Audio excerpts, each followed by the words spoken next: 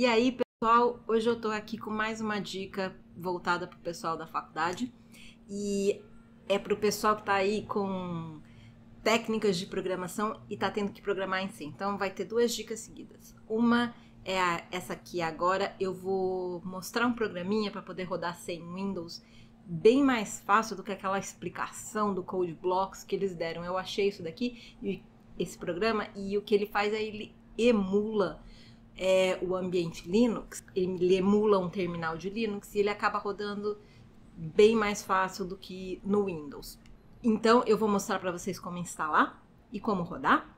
E daí depois na próxima dica, que essa vai ser duas dicas em um que eu vou lançar junto, eu vou mostrar a minha resolução da A1 e da A3 de técnicas de programação que eu fiz ano passado, tá bom? Que parece ser a mesma esse semestre. Então vamos lá?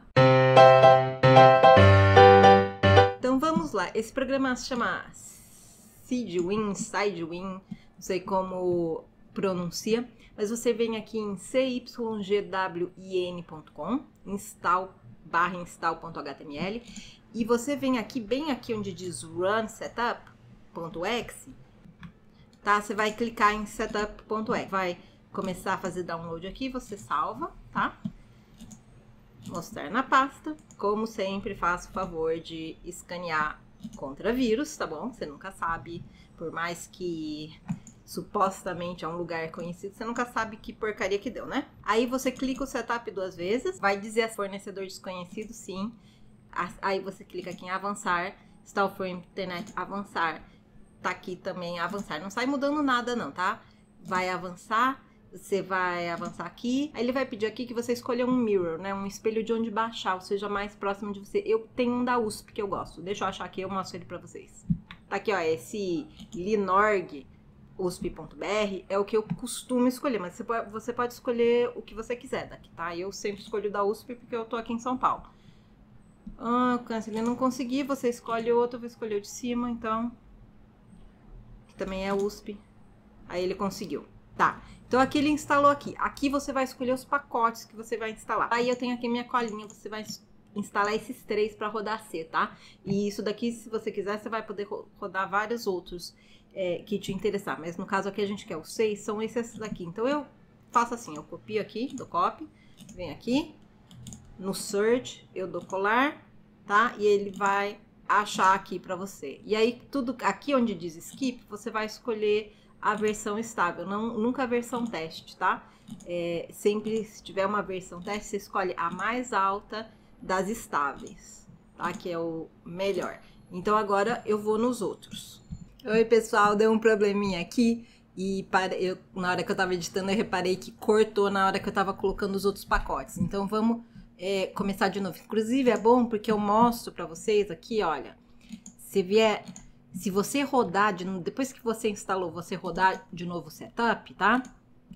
Você vai dar como se você tivesse instalando, tá?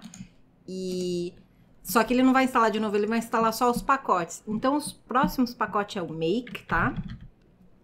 E você vai procurar aqui, ó, o make, se não estiver aparecendo, coloca aqui category que aparece e você vai procurar, vai aparecer um monte, porque ele vai procurar todo pacote que tenha make no nome, mas você quer um que é make mesmo, que vai estar tá aqui nesse devel, tá?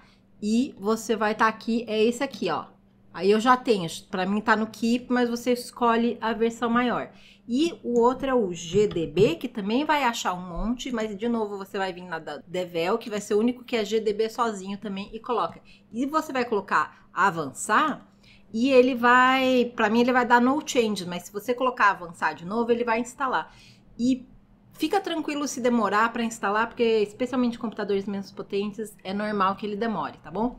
Eu vou colocar o link aqui para minha colinha, esse documento que eu tenho da, com a colinha, eu vou colocar aqui na descrição, tá bom? Ok. Agora ele instalou, instalou inclusive mais rápido do que eu tava esperando, mas aqui é eu tô com a máquina nova, né?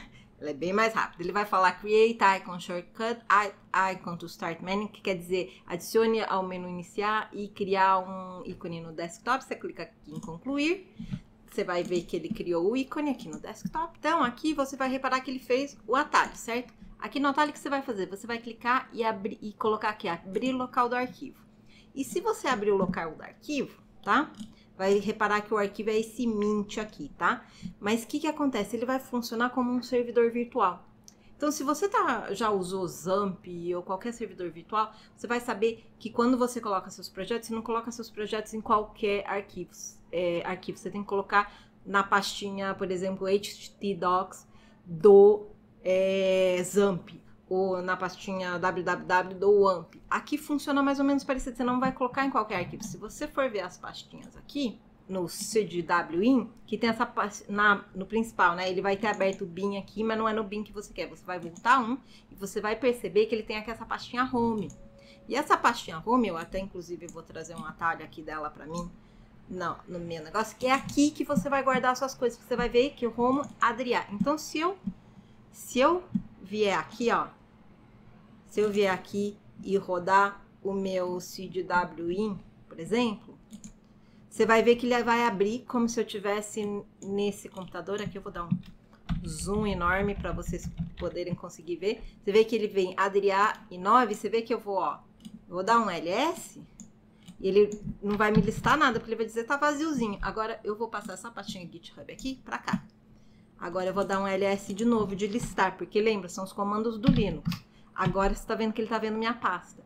Então você tem que se acostumar a trabalhar desta pasta aqui, tá? Você vai poder ter quantos usuários você quiser na home, se você quiser se trabalhar. Eu gosto de trabalhar já na do usuário. Você não precisa trabalhar na do usuário. Você poderia trabalhar na home, então eu vou vir para cá na home. E você pode vir aqui e fazer CD dois pontos.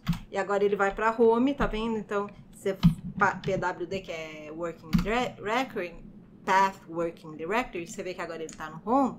E você vê que se eu der um ls, ele vai me listar o GitHub e o Adri. Mas no caso, eu vou querer trabalhar aqui nessa pastinha GitHub, né? Então eu vou, vou colocar cd GitHub e você vai ver que se eu der um ls, se eu der um ls, eu tenho ui, ls, eu tenho A1 e A3, A1 e A3 aqui.